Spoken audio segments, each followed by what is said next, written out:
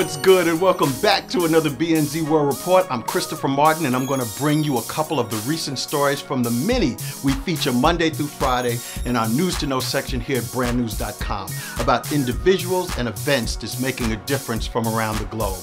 You know, before I go any further, you know, on behalf of myself and Team BNZ, we want to thank you all for giving us some really awesome ideas and leads to great stories. We also want to thank you all for the encouraging and inspiring messages you've sent us via email and to our Facebook, Twitter, and MySpace pages about what we provide here at Brand Newz. So without further ado, let's get it going.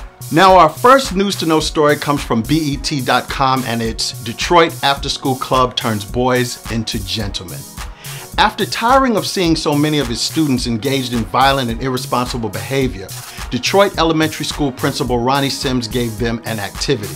He started an after school program called the Gentlemen's Club, where he gives his boys instructions on his three R's, which is respect, responsibility, and reasoning. The Academy's principal, Brenda Scott, told the Detroit Free Press, I kept seeing a lot of boys get into trouble and not wanting to own up to the responsibility of being in trouble. I catch them fighting, and the first words out of their mouths are, I didn't do nothing, but there's blood on their knuckles and another boy with a bloody nose. I'd ask them, How'd you get that blood on your hands? And they'd say, He ran into my fists. It became the norm for them to do that. The 80 boys of the Brenda Scott Academy's Gentlemen's Club gather twice a week in the gymnasium and learn properly how to shake hands, maintain eye contact, and dress neatly. In addition to Sims' revamp of the three R's, the boys are also introduced to the four T's, which is take time to think.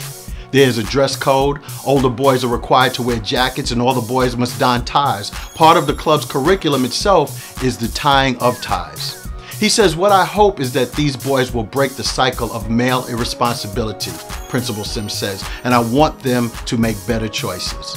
You can read more through our News to Know section at brandnewz.com. Now, for more great news about change, check out what's good from Team B and Z and their special video report. Check this out.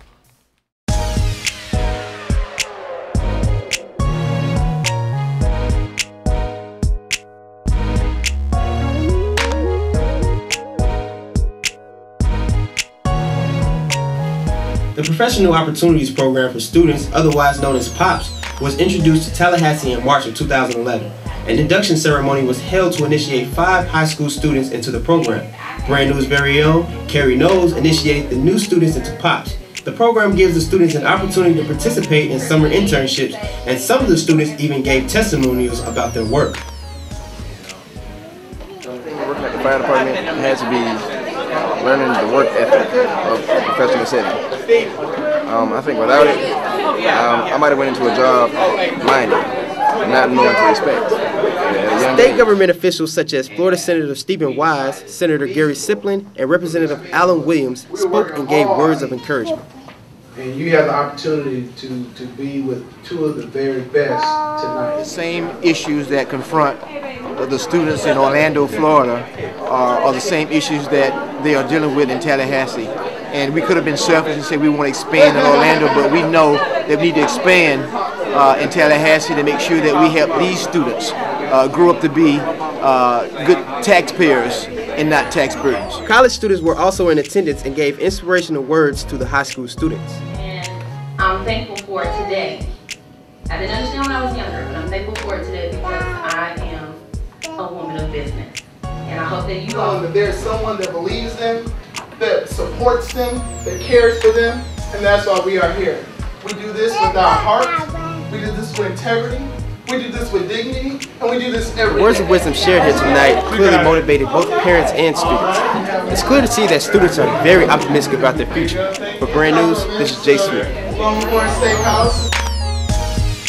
For more information about this story and others, go to brandnewz.com. Great job, Team BNZ. Give yourselves a big round of applause. Okay, calm down. Now on to our next story in the News to Know section here at brandnewz.com is from the Washington Post. And it reads, social media friends or haven for scams. Your social media account on Twitter or Facebook may have connected you to a long lost friend, a forgotten classmate, or even a sweetheart, but it can also lead you straight into the hands of a predator. All this internet openness has made it much easier for people to be preyed upon by con artists who specialize in affinity fraud using someone's connections to certain groups to gain their trust or ultimately their life savings. The North American Securities Administrators Association, or known as NASAA, recently warned investors to look out for shady investment deals pitched by people they connect with on social networking sites. State security regulators warn that con artists are using the information to post to create a false security to make highly targeted pitches within your social group. For years, con artists have found victims through offline social networks such as faith-based, civic, community, and professional groups. Even recently, here at Brand Newz, we've noticed some online red flags and we've chosen not to engage in probable attempts. We take pride in being the type of network that not only brings you positive good news, but in addition, news and information to warn you about unfortunate operations such as this that we're reporting right now. For more information and security advice, please check out the entire article at the Washington Post through our News to Know section here at brandnewz.com. Anyway, it's time for us to be out. I want to thank my girl Angela Ray for coming back. She's working on a very special project we're working on here at Brand Newz. And we want to thank you all again for all those letters and messages you're sending us, encouraging us to continue to do in our heart we know needs to be done. There's a gap that needs to be filled. We need to bring some balance back. It's not about opinions and it's not always about views. How about some just some news for you to make the decisions and positive news at that. So without further ado, it's time for me to get to where I gotta go, which is to find more stories along with the rest of the group. My team, beautiful peeps, that's what's up. Anyway, we'll see you next week and God bless. All right, y'all, y'all can finish your hand clap